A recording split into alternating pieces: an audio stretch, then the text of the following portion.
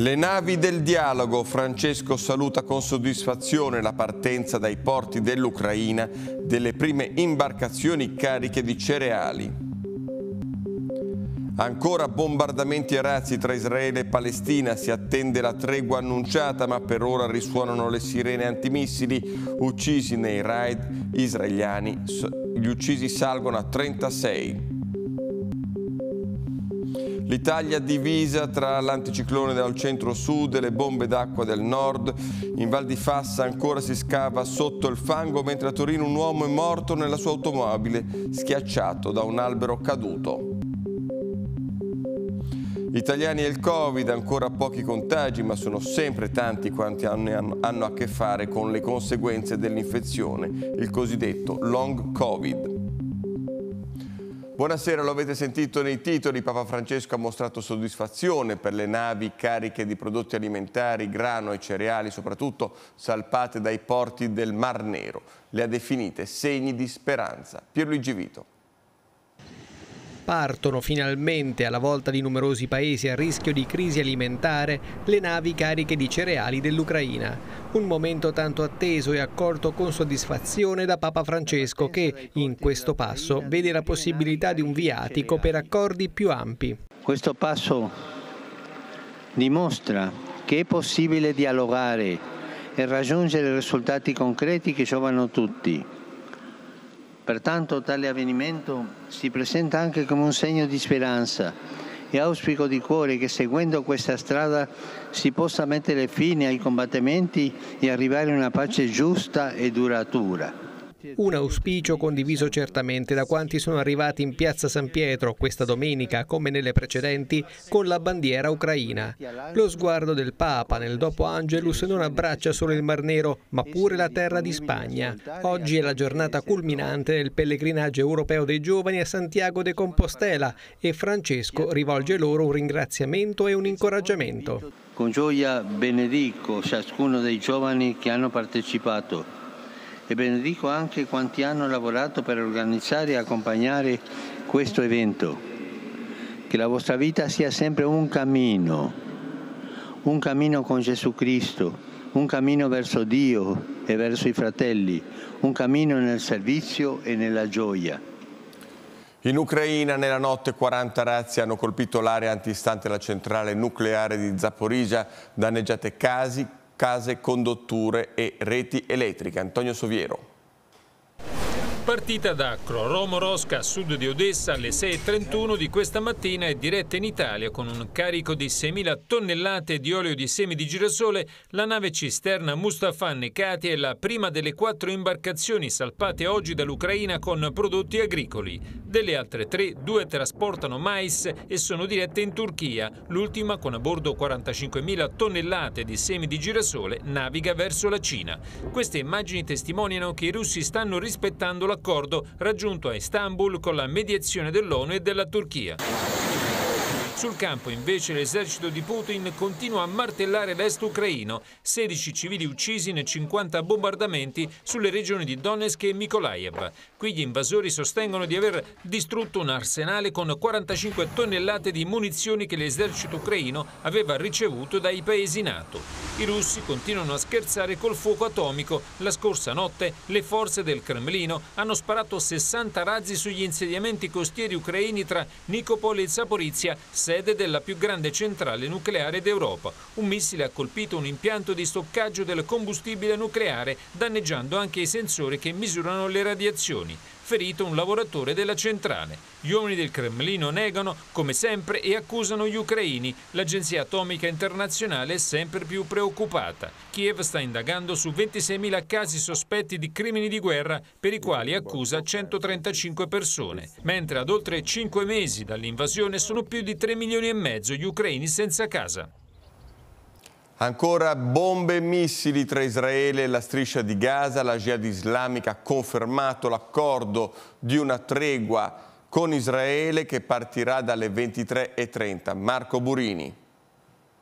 Gli obiettivi sono stati raggiunti, continuare non serve, dice il premier israeliano Lapid. Ma se non liberate uno dei nostri non se ne fa niente, ribatte la jihad islamica palestinese, che tra arresti e uccisioni ha perso diversi capi. Questa è l'ora della tregua annunciata dopo tre giorni di intensi bombardamenti israeliani su Gaza e lanci di razzi su Israele. Ma la situazione è terribilmente ingarbugliata, esasperata da anni di guerre più o meno lunghe, più o meno sanguinose. Finora i palestinesi uccisi sono 36, diversi miliziani, ma anche una decina di civili, centinaia i feriti. Tra le vittime sei bambini, ma la portavoce del premier israeliano dice che quattro sono morti per l'esplosione di un razzo nel campo profughi dove vivevano, durante un tentativo di lancio fallito. Questo non consola certo i genitori che si riversano disperati sulla tomba dei figli, mentre si registra qualche ferito tra i cittadini israeliani, protetti dal sistema di contraerea Iron Dome, che ha intercettato quasi tutti i razzi razzi lanciati dagli estremisti islamici, che oggi hanno provato a colpire anche Gerusalemme, dove i militanti di estrema destra di potere ebraico hanno visitato il Monte del Tempio, ovvero la spianata delle moschee, nel giorno di Tisha B'Av. Invece il capo della Jihad islamica palestinese ha fatto visita al presidente iraniano Ayatollah Raisi, nemico giurato di Israele. L'Egitto puntava a mediare e sembrava fosse riuscito a convincere le parti, ma in questi momenti le sirene antimissili risuonano a Tel Aviv e dintorni, mentre da Gaza dicono che stasera due attacchi attacchi israeliani hanno fatto otto morti, tra cui bambini. Sono stati i razzi difettosi della jihad, ribatte Israele. Ma il problema è che nessuno vuole mettere da parte le armi.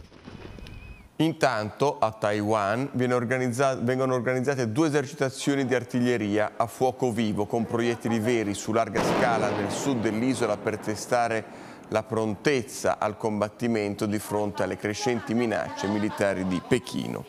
E adesso a Cuba, nella città di Mantazas, dove è esploso un deposito di carburante a causa di, a causa di un fulmine e si è sviluppato un incendio definito dai media locali pauroso. Sarebbe morto un vigile del fuoco, mentre sono 17 le persone disperse e oltre 100 i feriti.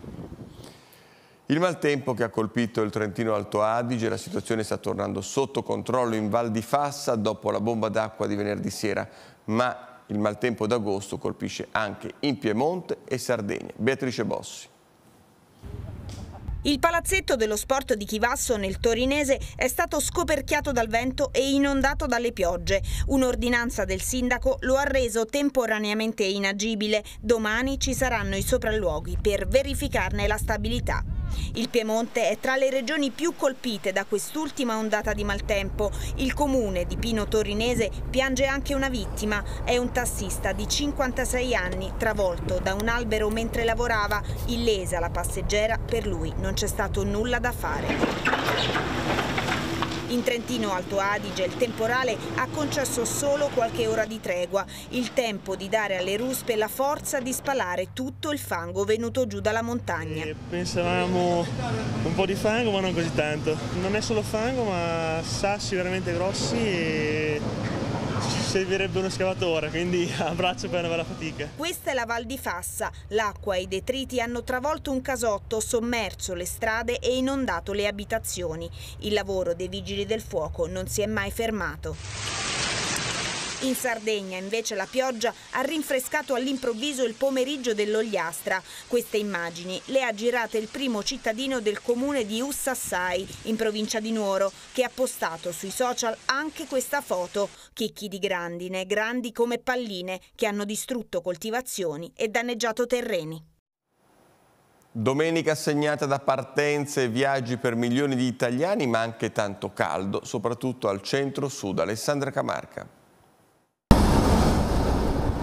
La domenica del grande esodo è arrivata, confermando in pieno le previsioni di traffico su autostrade, caos negli aeroporti e agli imbarchi dei traghetti. In questo agosto, nel quale si stima che 22 milioni di italiani, secondo l'ultimo studio Call Directix, prenderanno la via delle vacanze, rimanendo nella maggior parte dei casi entro i confini del bel paese, il primo weekend del mese si è dimostrato essere la prima scelta della stragrande maggioranza dei vacanzieri in partenza.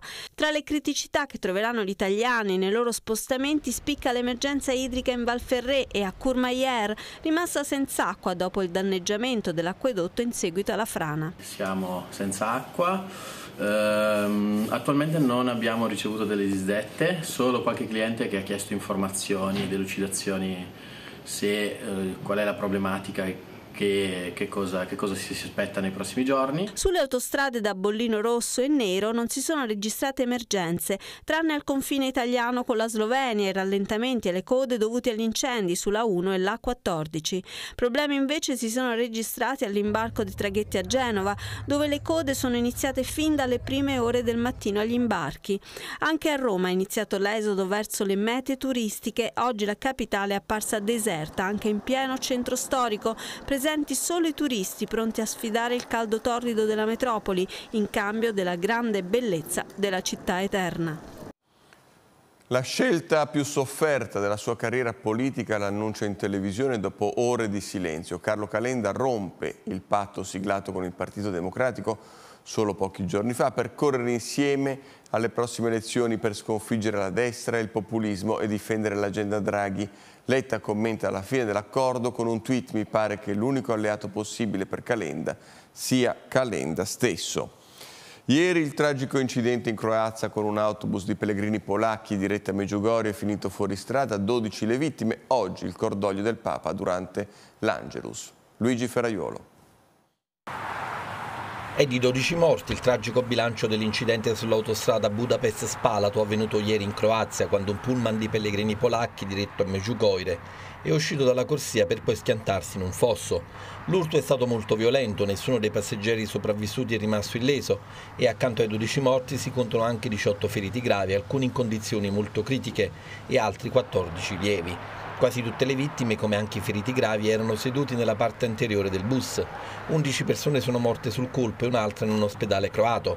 Le ambulanze sono state chiamate da uno dei pellegrini intrappolato sotto le lamiere dell'autobus. Le scene descritte dai soccorritori erano terrificanti.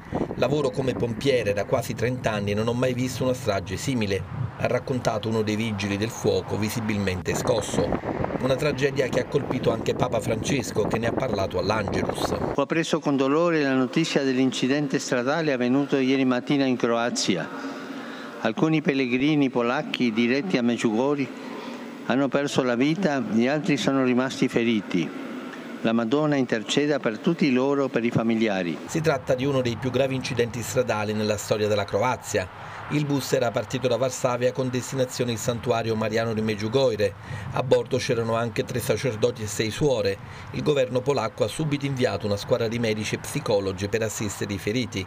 Le cause dell'incidente non sono ancora note. La polizia croata ha aperto un'inchiesta. Nuovi sbarchi sulle coste italiane, tre imbarcazioni, due delle quali alla deriva sono state soccorse questa notte dalle motovedette della Guardia di Finanza e dalla Capitaneria di Porto, fra le 16 e le 5 miglia dalla costa di Lampedusa. All'hotspot di Contrada Imbriacola ci sono al momento 1089 persone a fronte di 350 posti disponibili. Sono oltre 26.000 nuovi contagi da Covid registrati nelle ultime 24 ore, 74 le vittime e sono moltissimi gli italiani che hanno a che fare con il cosiddetto long Covid. Cesare Cavoni. Il Covid non finisce mai, lascia spesso su di noi gli effetti nefasti del suo passaggio anche a distanza di mesi o anni. È quello che viene chiamato long Covid. Molti sintomi, spesso pesanti, che ci restano addosso anche quando l'infezione si è esaurita. Il cosiddetto long Covid o persistenza dei sintomi oltre la fase acuta fino a sei mesi e oltre è una realtà clinica che si è identificata fin da subito nel corso della prima ondata nel 2020 riguarda non soltanto gli adulti ma anche, seppur in maniera minore, l'età pediatrica. Si caratterizza per una serie piuttosto eterogenea di sintomi che vanno dalla facile stancabilità alla difficoltà alla concentrazione, il cosiddetto foggy brain o cervello annebbiato, le alterazioni dell'olfatto e del gusto, la difficoltà alla respirazione, e anche alterazioni di natura cardiaca. Attualmente sono 21 milioni e 200 mila le persone ufficialmente contagiate dal virus dall'inizio della pandemia ad oggi,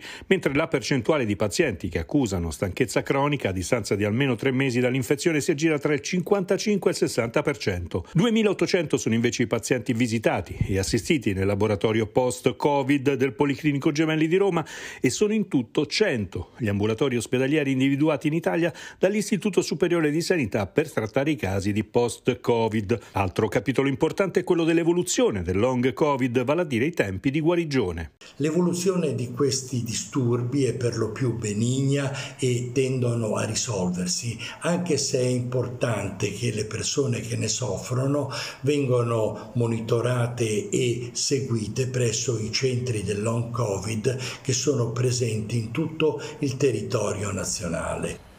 Tantissime persone si sono ammassate questa mattina sul sito di una nuova eruzione della fessura vulcanica situata in una valle disabitata circa 40 km dalla capitale dell'Islam. L'eruzione iniziata mercoledì riguarda un vulcano che lo scorso anno ha riversato colate di lava per sei mesi.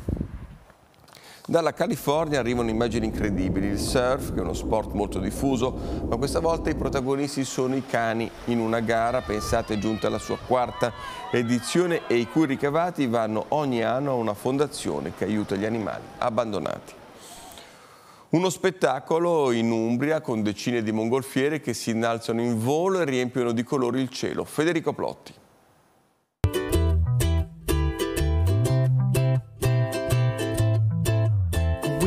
Lo scenario è quello dei campi e delle campagne umbre, tra Gualdo Cattaneo e la meravigliosa Todi.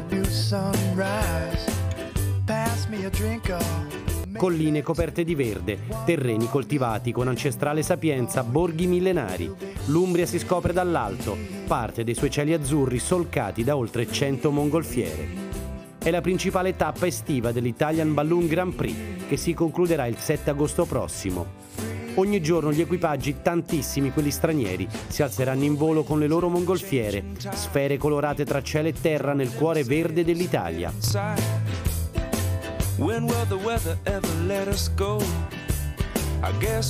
Il paesaggio unico dell'Umbria, unito al cibo, al vino, alla storia, alle tradizioni antiche di una regione dalle mille facce e tutta da scoprire.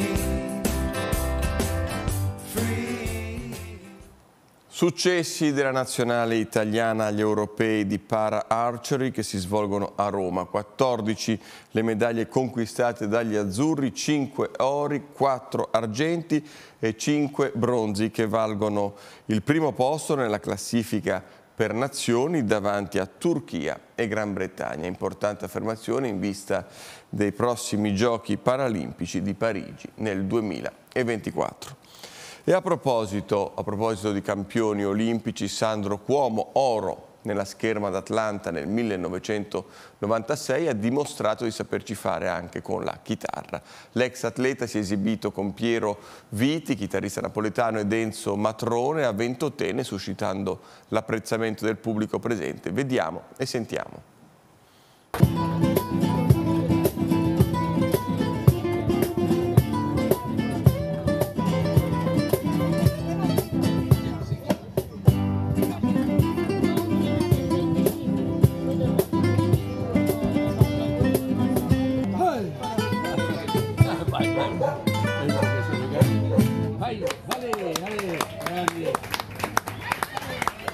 Sveliamo campione di che per chi non dovesse conoscere?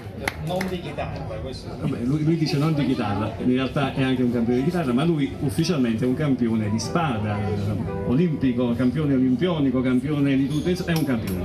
Ci tira la nazionale, di tutto di più. E questa sera eccezionalmente per voi alla chitarra.